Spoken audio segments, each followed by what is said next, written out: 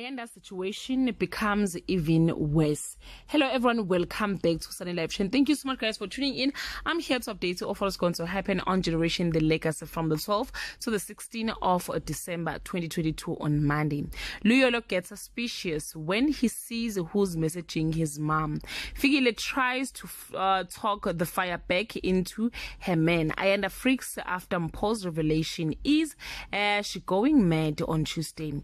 Opi is when her plan is thwarted. Cosmo unwittingly undermines uh, Mokamama's new manager. Spears lawyer has some shocking news for her on Wednesday.